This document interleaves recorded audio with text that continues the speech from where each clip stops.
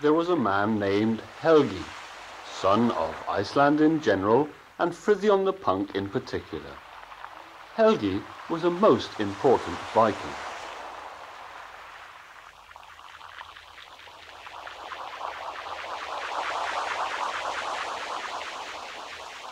Helgi Saga.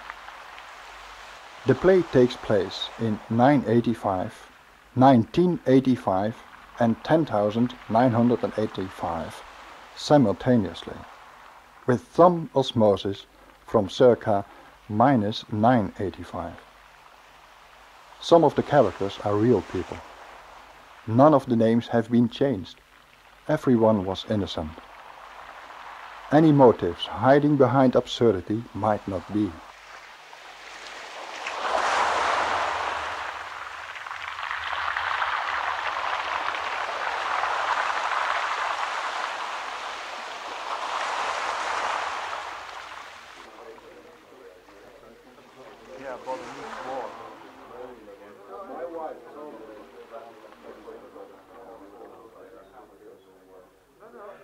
The Old Thing, Iceland Ancient Parliament, Thingfella.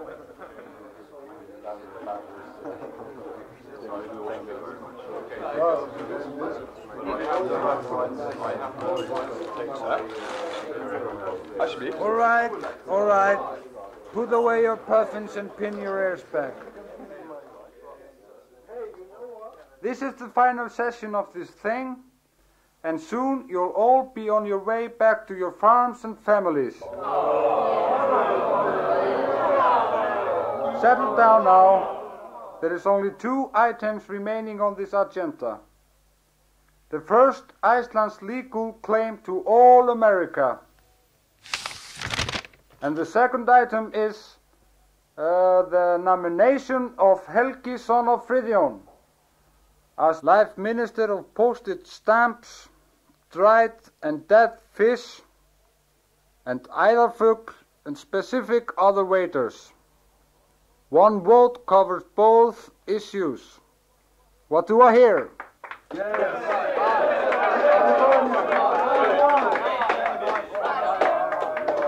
Good, good.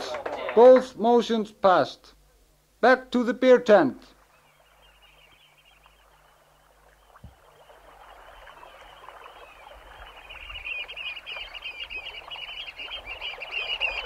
The Ministry of ED and SOW, Reykjavik, Iceland. Helgi slashed a path to the door of his ministry through the assembled orcs. He wiped the blood from his axe with the coat of the doorman, hung his leather cap with sewn-in pigtails on the Grecian temple hat stand just inside the door, and squeezed into his office past the forty Argentinian albatrosses awaiting repatriation. When Helgi had moved into this office, he had refused all furnishings, saying that he was quite capable of drinking standing up. But the Minister of Public Buildings and Works insisted on putting a bench in there anyway, because he had a cousin who made office-sized benches. Sitting on this bench in the office was a messenger from Helgi's cousin Skrithi. The messenger stood up as Helgi entered. Good greetings from my master Skriður to his cousin and friend Helgi. Great. Next! There's more. I bear an urgent message from Skriður, which is for your ears only.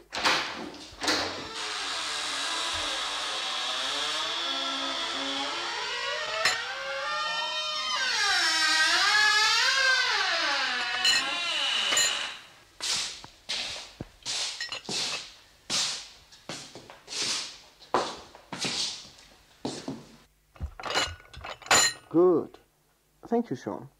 Uh, bring an extra cup, will you? Get it your bloody self.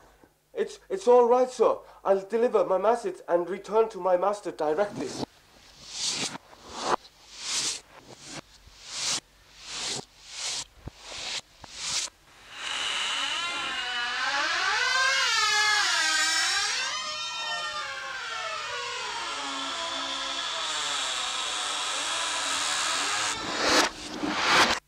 Now, just a moment.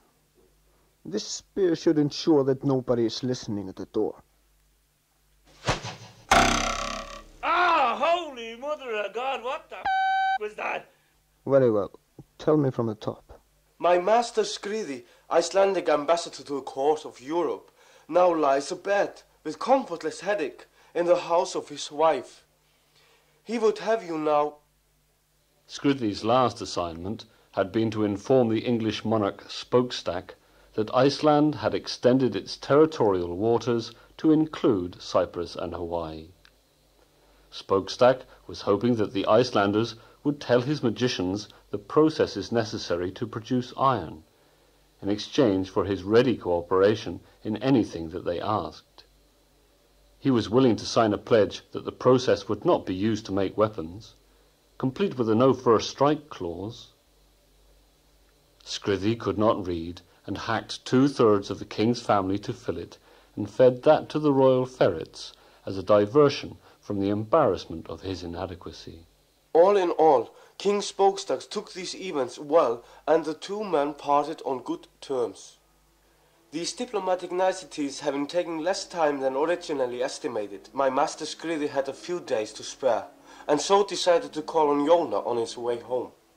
It was there, whilst collecting a candlebloom for a concubine, that he suddenly fell seriously ill with an attack of split skull. The chief of Iona was a man named Father Abbotson. He was a simple man who, to avoid confusion, worshipped only one god and had his runes nailed to the wall. Father Abbotson was on his knees thanking his God for the apparent divine intervention during the last Viking raid. A novice sat by candlelight in the cellar, polishing the dents in his censer. And it is because of his present incapacity that Skriði asks that you, Helgi, don a diplomatic robe and undertake his forthcoming assignment. Well, of course I'm very busy here. But winter's not more than a week away and I wouldn't mind a voyage to other climes. Uh, what's the assignment? Cultural attach and second executioner secretary at the court of King Weiflot in Norway. Hmm. I've done worse jobs. Very well. Tell Skriti that I will make plans to leave immediately.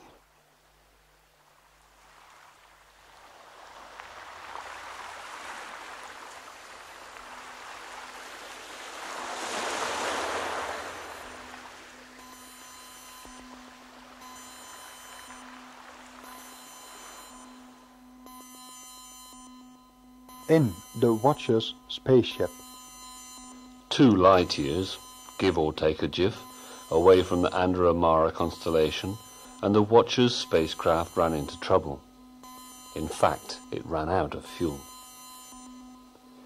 Assuming you are aware of the magnitude of space, you will understand that it took some considerable time before the Watchers realized that their craft had stopped moving even though they had been travelling previously at only six miles per hour slower than the speed of light. No, dear thing. The flutters follow the curtains. Has anyone else noticed that the ankle through the breeze has suddenly ceased? Fallowfield, an earthling guest of the Watchers, refused the fifth chocolate digestive biscuit, and being the only one among them with a brow, assumed a concerned frown. Dear, dear, dear. This is no time for your pouty jokes, Fallowfield. This is the time to panic. In the time it takes to cook chicken in black bean sauce in a volcano on Io, all the watchers started rattling towards self-vivisection. All, of course, except Watcher 4 who could only muster an irritated hum in an important address in the collective ROM. Well, I say important, but in fact, and 999364563 to infinity loop x divided by y comma, those being the addresses in question, controlled the intensity of the light in the self-cleaning, odorless ashtray. The colour itself was the responsibility of an address in Watcher 2E and was a randomized selection with parameters generated by detecting from the smoke the nature of the material being burned. Of course, you'd have to go a lot further down the street to locate the bits that actually got the ashtray to open. Watcher 7, controller of openings, swore that that section of his system had been short-circuited by Saturnian static. The others would have it that he was just being a misery because he had given up smoking. This is serious. The smoke coming from the grill and the smell of burning crumpets means that even mother computer's agitated. Come on! Panic isn't going to get us any further than empty fuel tank. The ashtray opened and closed several times, each time emitting a different coloured flash. Fallowfield lifted the front of his sacred t-shirt and unscrewed the diamond from his navel. Here, this should get us back to Earth. Watcher 4 screwed a beer glass onto its visi sensor and examined the stone. Well, the stone itself would supply constant power for an Earth decade, but your belly button fluff would generate enough energy to blast us three times around the cosmos in a week. That's really fast. Only one way to find out.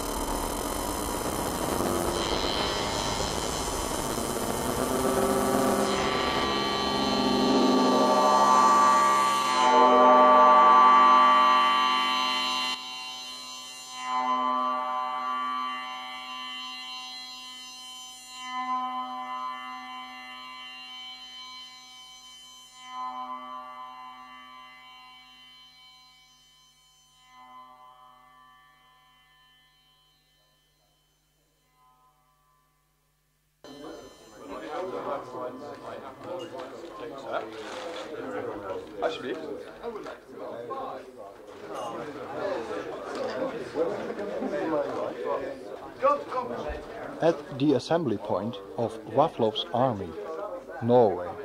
Helgi arrived at the court of King Waflof just in time for war. Identify yourself. I hate to kill strangers. I am Helgi, son of famed Friðjón the Punk. I am the new Icelandic ambassador to the court of King Vaflof of Norway. Very well. Pass, Helgi. The queue for the sword sharpener is over there. Helgi stood in the line between King Waflof and an until recently unemployed mercenary from Sheffield. Using the insight gathered from a lifetime of diplomacy and pillage, he decided he didn't like either of them, but would let them both live, at least until after his sword had been sharpened. I best find out what this war is about. He struck the king on the shoulder with the flat of his axe. Herðu, uh, your majesty. Before he could say more, six of the king's bodyguards leapt at Helgi with raised weapons, intent on killing him to teach him some manners.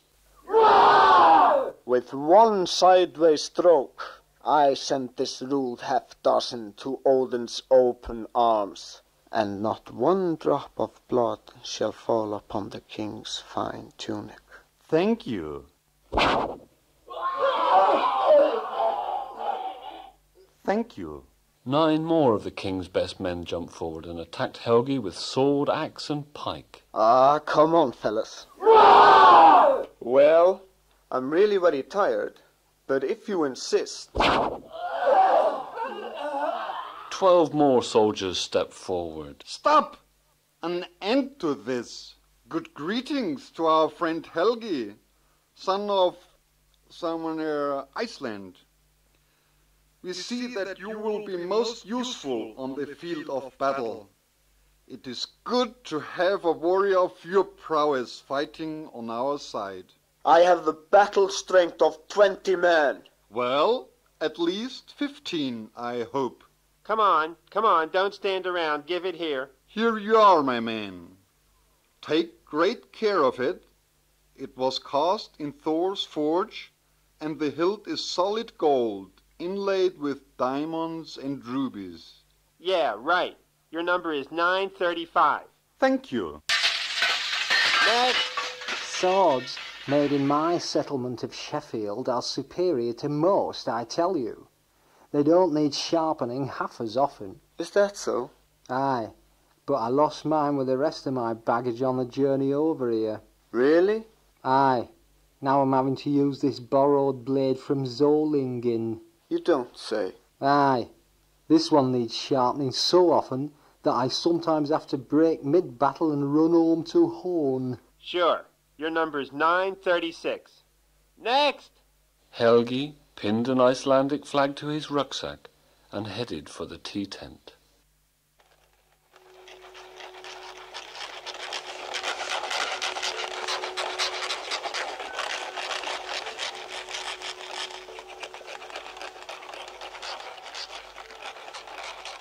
The offices of the Bible, Mount Sinai.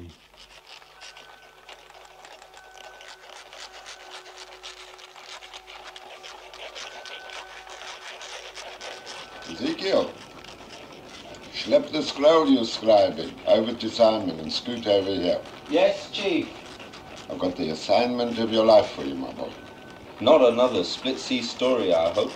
Stories like that can cast doubt on a writer's credibility.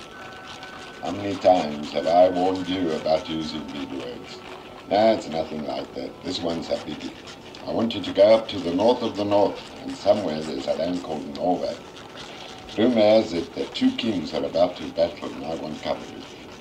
What's so special about two kings fighting? Oh, this one's special, all right. I saw it in the omens. You don't want to believe everything you read in chicken livers. Listen, you get yourself up there and bring me back a good story. If I like it, I guarantee you widespread circulation.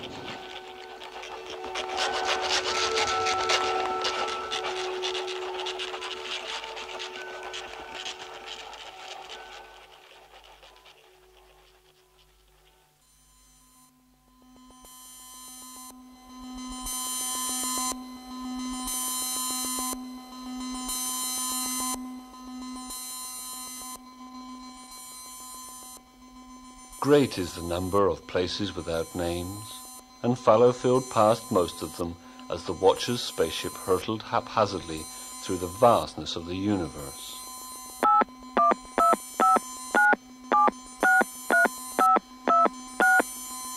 Is Magnus B in Amsterdam by any chance? If so, would you tell him that Fallowfield might be dropping in on him soon? No, I'll not wait.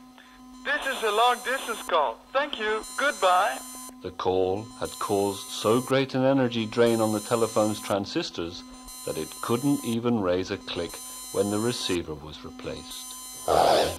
All water this equipment will have to be replaced when the next encounter base. I've been meaning to ask you about that, but I'll not do it now. The telephone was trying to keep its job by playing the national anthems of all known users of such tunes. With its one and a quarter octave range and audio envelope programmed by a tone-deaf telephone engineer's apprentice who had just burned his fire button finger having forgotten the instructions on how to recognize the handle end of a soldering iron. Your is our number telephone. As soon as humans break the telepathy barrier, you'll be doomed to destruction on Tracesaurus 4. And the only thing that can survive there is Skinny Legend, which lives on a diet of musical rust.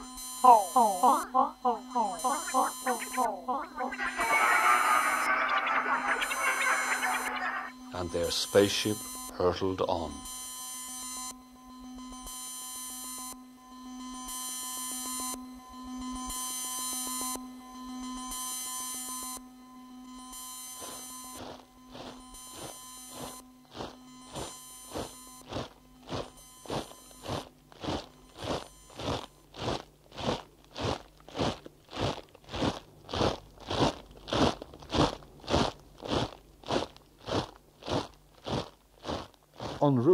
To the battle with Werther's army.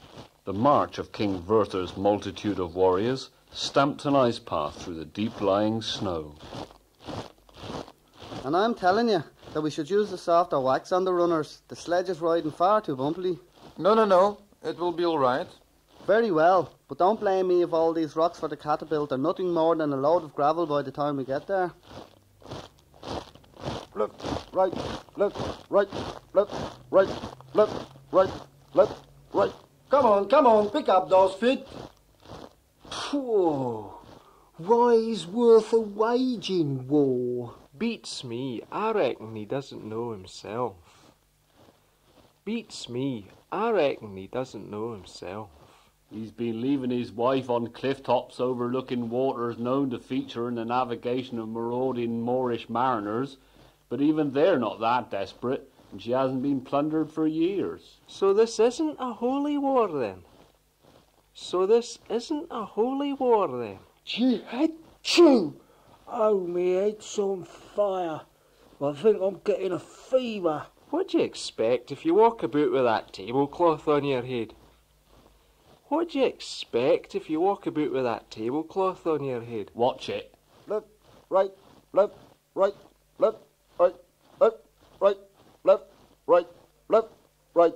Let me hear them snowshoes biting into the ice. It's all right for him. He's on a bloody pony. I reckon it's a polar bear in a donkey's clothing. Tell us more about this war. Tell us more about this war. Well, neither Werther's lands nor his goods are worthy of any more than passing interest, so this can't be a retaliatory strike. Do you think we'll get paid?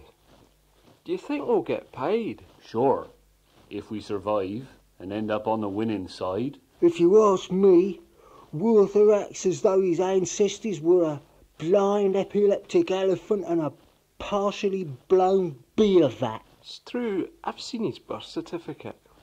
It's true, I've seen his birth certificate. Liar!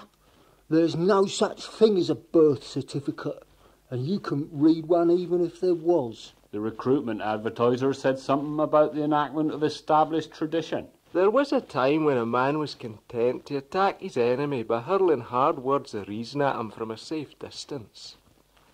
There was a time when a man was content to attack his enemy by hurling hard words of reason at him from a safe distance. Yes, but during the passage of the centuries, the piece of paper with the original rules had been lost, assumed misfiled. Now, war's just another bloody ritual. Ah, an old ticket affair to avoid trouble between opposing supporters clubs. Silence in the ranks. Save your breath for marching. It ain't me chest that hurts, Sarge. Shut up, you horrible little Norseman. Well, I make sure you hurt evenly all over.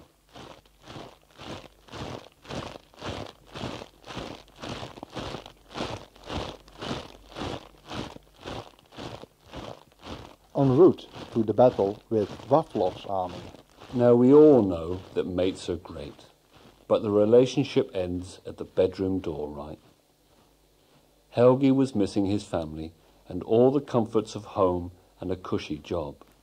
This is a raw war by Thor. I lost my place the last time I counted my toes, and I fear I might have forfeited a few to frostbite. Well, it'll shorten time taken trimming toenails, and I'll save a few sous on shoes. Herde, your majesty, try some of my dried fish.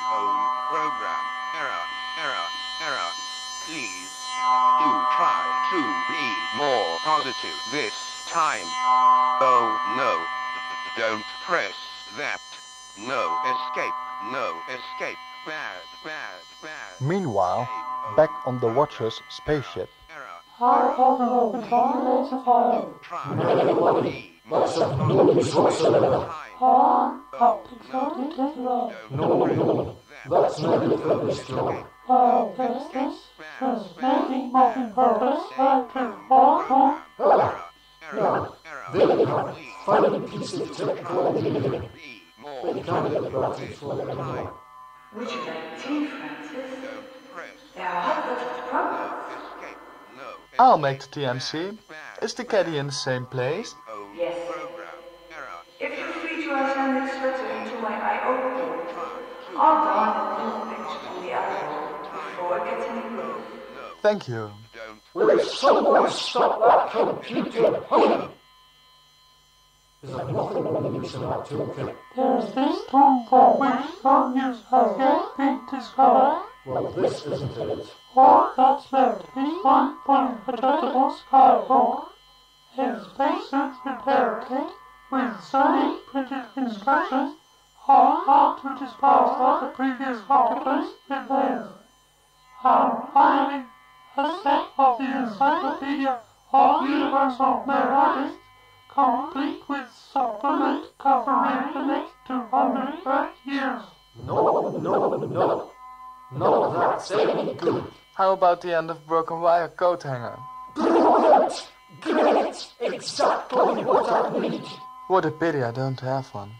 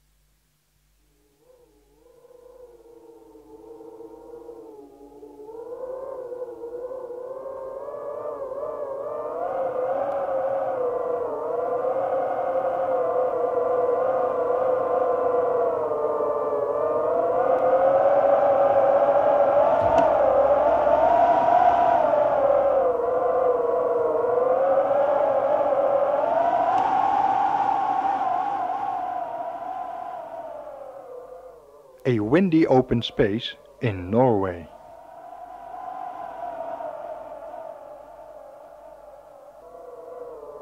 Ah, this looks like the place. I'll set up my lookout position on that hilltop over there.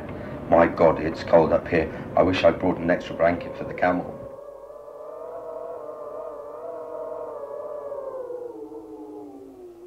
The tent of King Werther.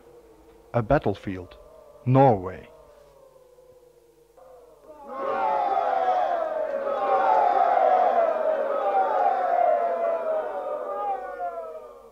What is all the cheering about? It hasn't even started yet. The men are cheering for your majesty. It's an oral token of their loyalty and devotion, sire. Then why are the other side also cheering? Oh, they are just glad the marching part is over, your royal highness. Great aces! A platoon of Waflof men have outflanked our outside flankers and are headed in this direction. That's him. Grab him. Stop! Stand off, you churlish knave! Desist! Help! Oh, stop! Please stop. It isn't fair. We didn't know it had started and that we weren't quite ready. Help! Help! Guards! They are snipping the ribbons of our undershirts.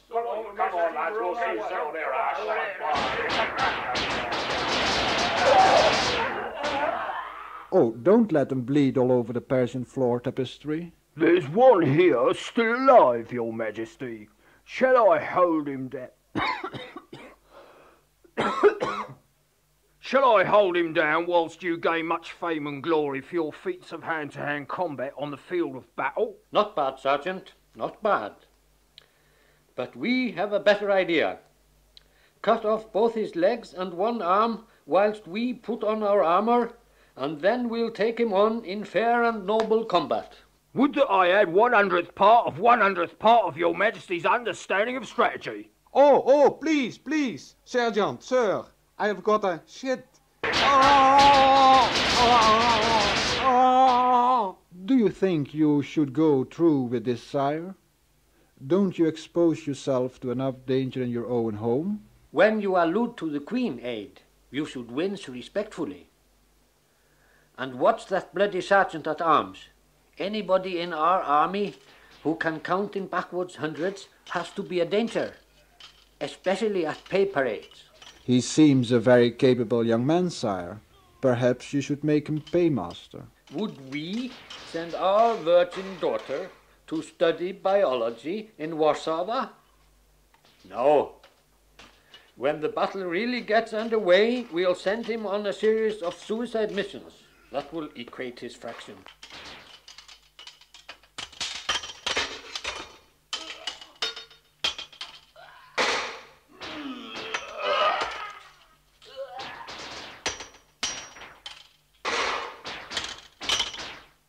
The same battlefield in the tent of Wawlow. Tak, tak, Your Majesty. The early attack has gained us a good psychological advantage. One of the forwards is coming back now to report in. That looks like one of Werther's ribbons he carries so triumphantly in his mouth. Well done, that man. Well done, that man. Well done, that Splendid. man. Splendid stuff. all right. Splendid Stuff, stuff. chap. Jolly Jolly stuff. Oh, we owe all our success to the boss. His plan was brilliant. Nay, nay, lad. I'll not take all the credit. You had your hand in it. Our first hero. See that this man gets a pension if he reaches the age of 65. I'll make a note of it, Your Majesty.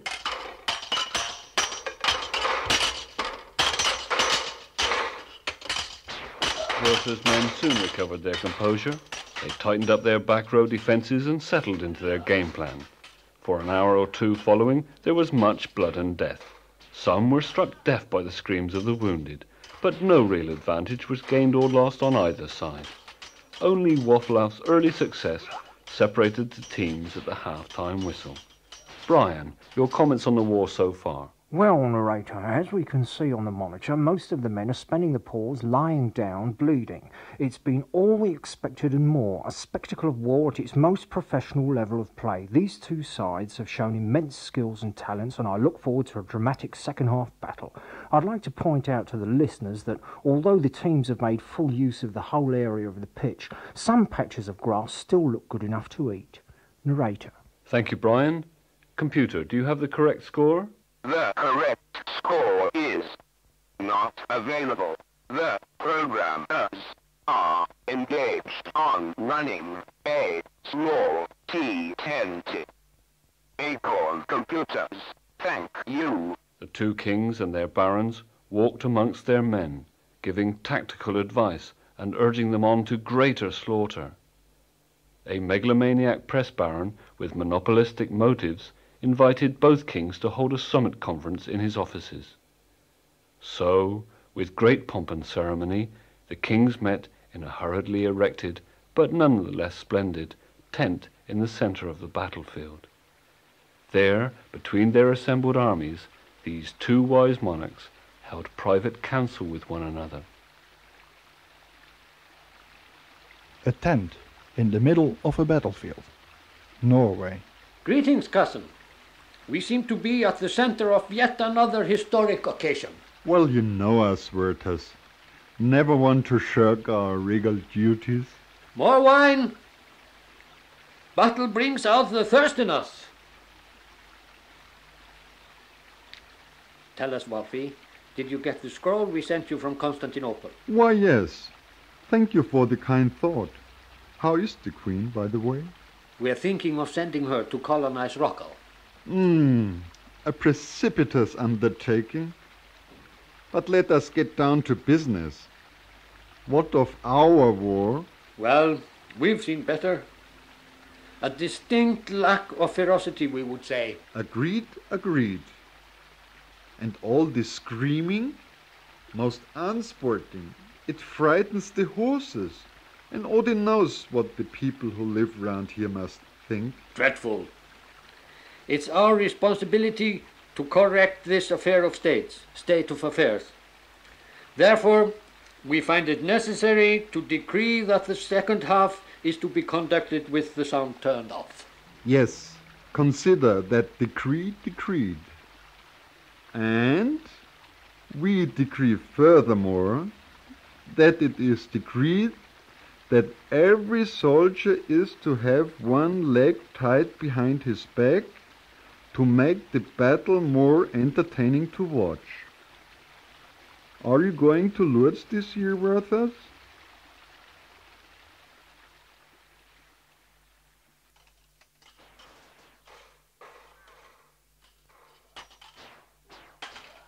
The start of the second half was delayed for 20 minutes whilst both sides slaughtered the supporters who had spilled out onto the pitch and started a separate skirmish. Eventually order was restored and the whistle of flight after flight of plutonium-tipped arrows signaled the restart of the battle proper. Many were the feats of daring and skill of men from both sides, but it is the name of Helgi that will be remembered for 10,000 generations of memories. Mighty men marveled at his mastery and then trembled should his temper turn its attention towards them. The great ace Thor had to put his receipt and dispatch department on overtime. Helgi stood in center field, fine chopping anything that came within swinging distance. With his free hand, he stirred the finest cuts in a wok and tossed the now subtle spice scraps to the circling flock of Larus marinus who were the replacements for the ravens that usually served as post-battlefield clearers. Despite Helgi's superhuman effort, as evening drew nigh, it became apparent that the forces of King Wofloth were on the wane, and, barring miracles, disaster, defeat, and despair were the only comforts remaining to them. Helgi was covered from helmet to toe guard with the mud of blood and dust, some of which was his own. Directly on landing from a none too kind voyage from Iceland, he had marched with this army through ice and snow for ten days, with only weekends and Odin's Day afternoons free for sport. He threw himself into the thick of the battle before the ink on his arrival card was dry, and had been thrust, parry, and slashing on a continuous basis for seven or more hours. I am beginning to have my doubts about this job. Finding nests for immigrant Turkish turtle doves might be dull work, but at least the tea breaks are regular. King Werther's men were making mincemeat of the opposition and were already looking forward to an early evening dismissal. Woflaf's men sensed that the battle was going against them and that this was the time to do something desperate. In one last glorious thrust, those warriors bold advanced against their foe in perfect unison, they mimed a play by Ibsen, indicating punctuation with strokes of the axe and sword. By the seventh act, Wofloth's Vikings had levelled scores of Werther's warriors, most of them succumbing to fatal boredom. We better put the tent back up. Looks like it's going to be extra time. Extra time? I will use this opportunity to gain favour with the king. Perhaps then he will let me marry his youngest daughter. Halt! Desist! I bear this silver platter laden with segments of fine orange fruit from the far Orient to refresh the warriors of the great King Werther.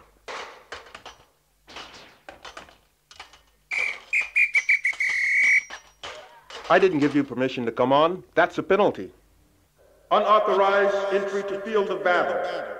Penalty against Werther's side. Werther's men to retreat 15 yards.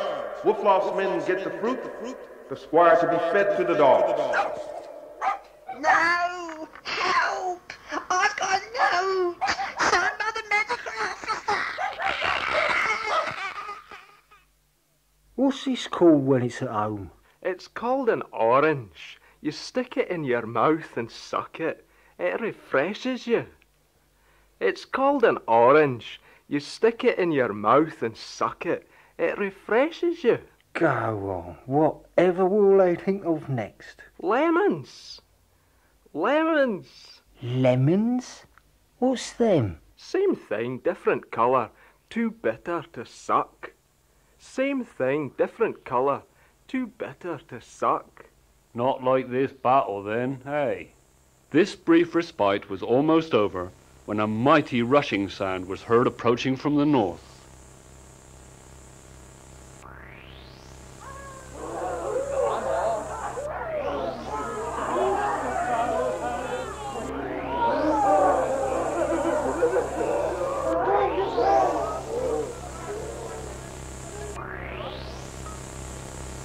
Then, in a veritable galaxy of sparks and with retro rockets on full thrust, the Watcher's spaceship plowed into the ground and skidded to a stop at the edge of the battlefield.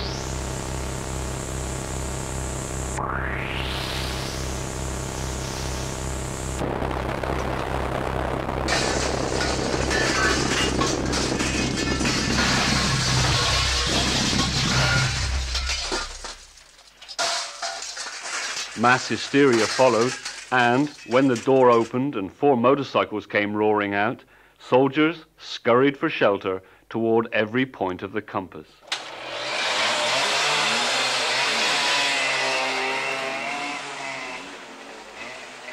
The only ones remaining were the dead, the dying, and Helgi, who was feeling none too well either. Helgi was piled so high around with conquered corpses that he had left no avenue for escape. One of the watchers gunned his machine over to where Helgi stood. Hello, Jorge. We came to check that you have a current TV. Well, I have to admit that I've never seen a suit of armor like that before, and I am at a loss to guess where the weak spots might be. However, let's try this for size.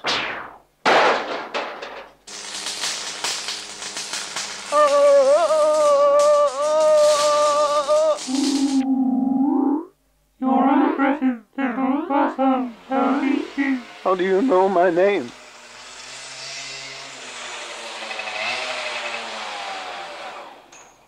Come on, three.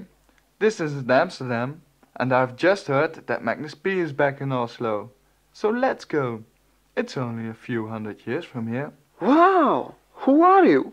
And what are you doing here? I would have thought that a more relevant question was, what are you doing here, killing all these other people? That's war. What for? We heard this all before. No. Why? Uh, the reason never became clear. It never will. What do you mean? War is forevermore?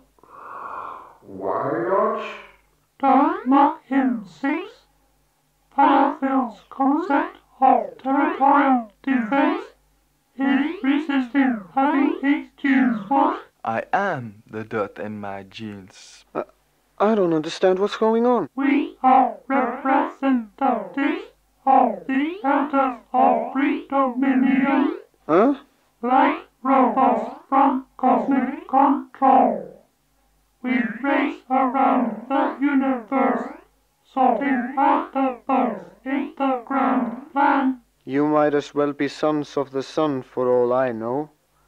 By the looks of it, your longship is of Hackler skin. The truth is that the truth is too colossal for your tiny mind to comprehend it.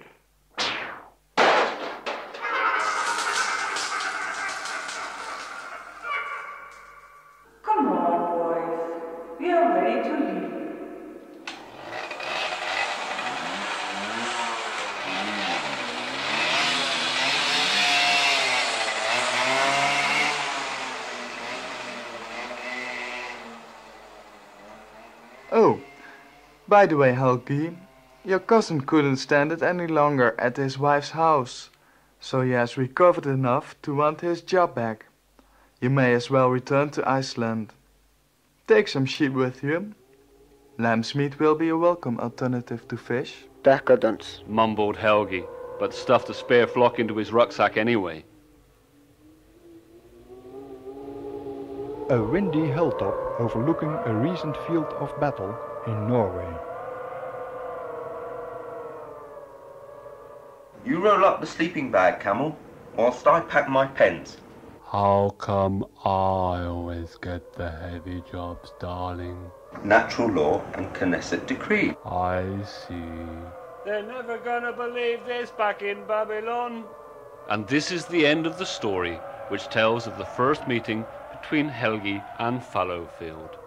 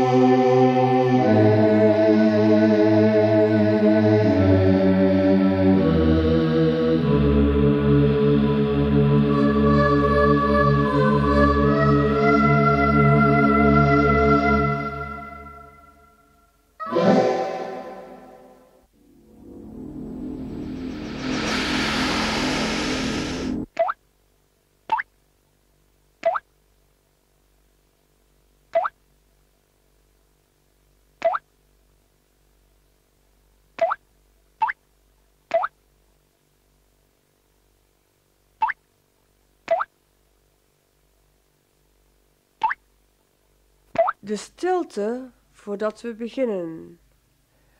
De stilte voordat we beginnen. De stilte voordat we beginnen.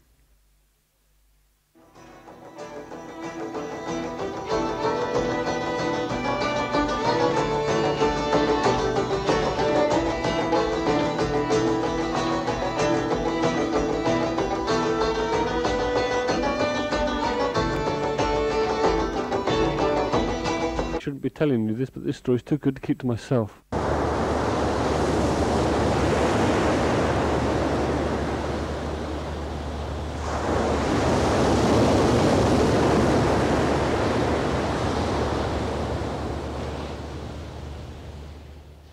The Saga of Brian the Rove and the Scoring Technique in Cribbage. Part 1 The Abduction and Passage to Iceland.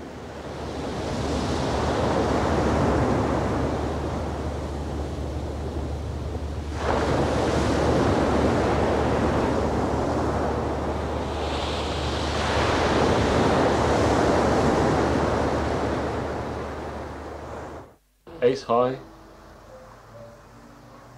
High cats.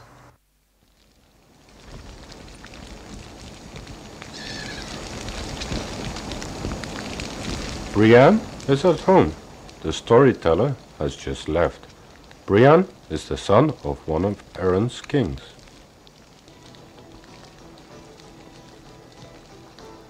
Brian's father has his own house band.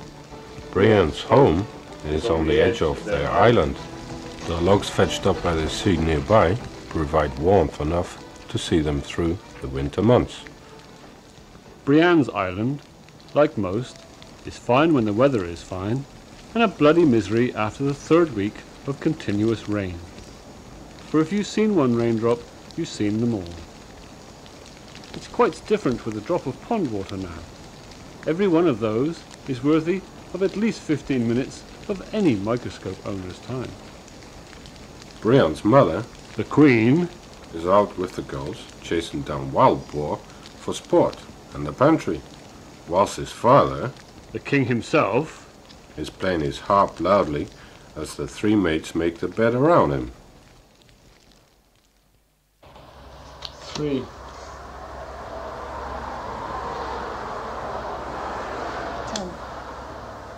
15 for 2. 15. 22. 22, 22, 22.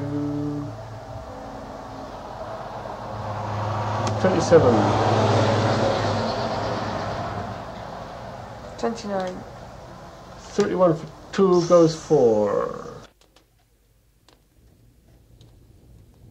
Brian's sister, Melkorka, has heard the story previously and has therefore gone early to her bed. It is raining close to where Brian sits, outside against the castle wall, and he would certainly be getting wet to the skin were it not for the roof over his head. Beneath this lean-to, the storyteller tells and learns, on every other Saturday afternoon and evening. Inside Brian's head, thoughts weave, internal tapestry, destiny emblazoned by a conspiracy of doubt. Here is a prince who will become a king. Here is a poet who will become a priest.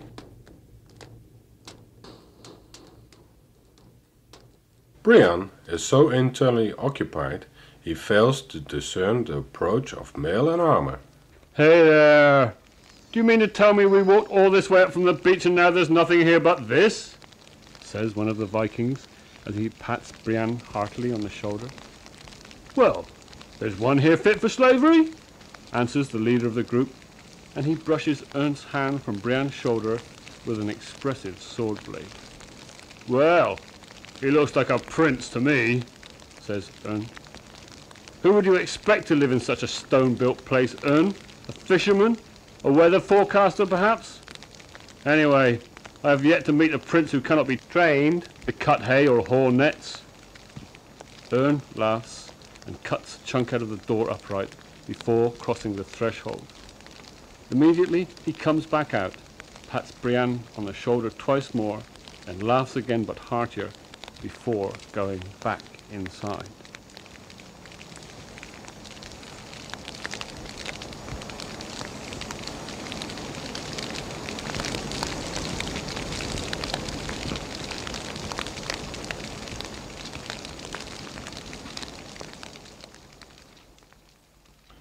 Þú, stertur, kjóst þú, gerast minn træll eða hljóta eitt koss aksar minnar. Well, now, I'm a free spirit, you see, and I don't mind telling you, I'm not much interested in living here where I've got it good right now, with the future even brighter cousins permitting. Kom þú, nú rauðhaus, með í heiskap og réttir á Íslandi. I am the last to see him alive. From my window, I see a man leading him away. His hands are tied behind his back, his ankles tightly hobbled. His captor has led him to a low hawthorn tree and binds him securely to it. Now, with the arrogance of a fisherman who feels no need to check the security of his knots, he returns in this direction. Yet before that man can cross the boundary of the moon shadow cast by the outer wall, there is another knocking at my door.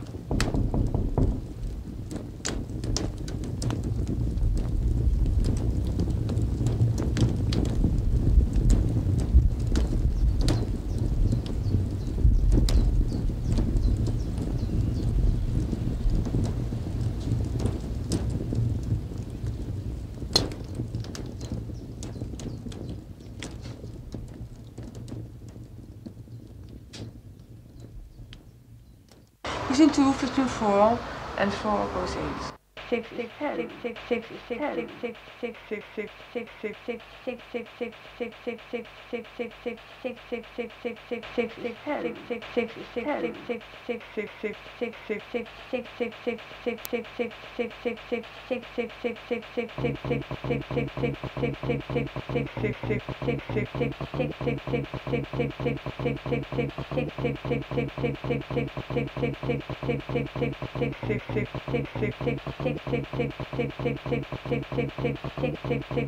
Wow.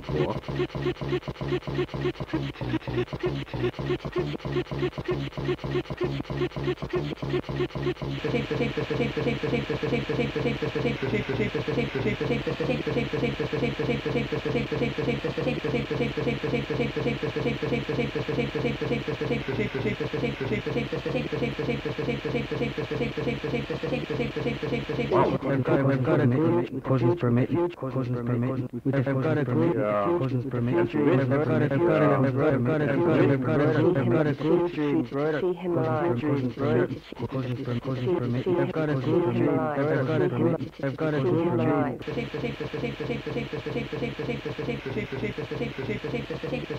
group,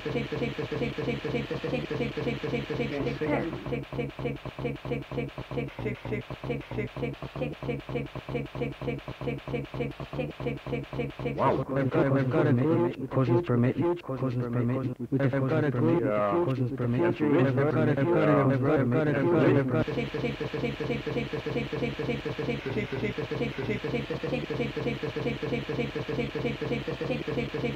They've got a good dream, bro. Caution from, caution from, caution from, They've got a good dream, bro. They've got a good, they've got a good dream, bro. They've got a good dream, bro. Caution from, caution from, caution from, caution from, They've got a good dream, bro. They've got a good, they've got a good dream. They've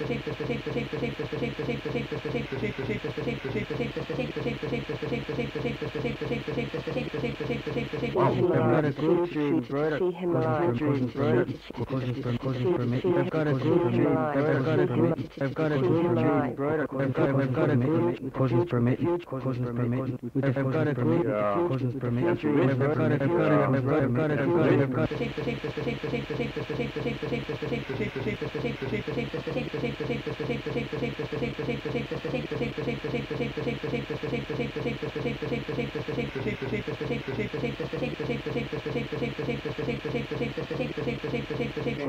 got. With the future in u brother. I've got a See him alive. boy. 6 is 15, 10. six. 15 2, 15 4, and 6 is 10.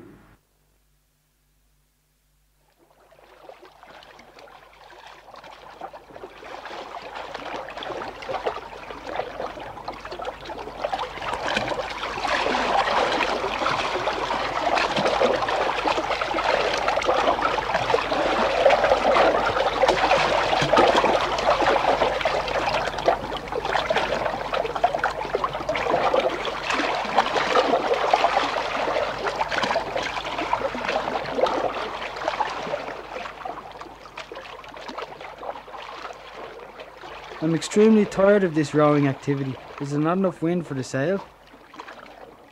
Tja, ef þú vilt, máttu draga upp segl. Ég kem ekki veg fyrir það. En ef það er ekki nægur vindur til siglingar, gengur þú frá seglunum og ræðir harðar. Þetta unnin er tíminn.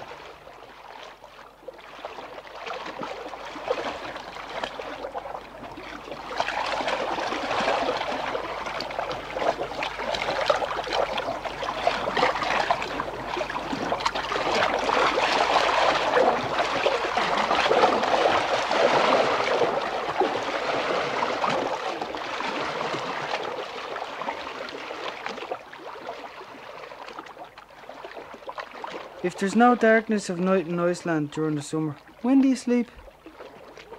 Þegar ég er þreyttur, þér þegar sagt.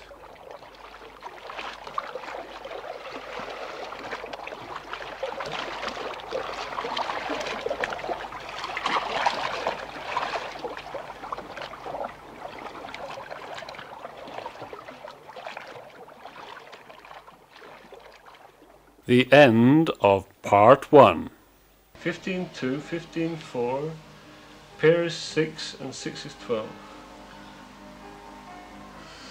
1, 2, 3, 4, 5, 6, 7, 8, 9, 10, 11, 12. Really? No, I think you got more. Count again. 15 2, 2, 15 15 4, 4, a pair is and 6, and 6 is 12. Yuck. I win! Oh, you're a bad loser.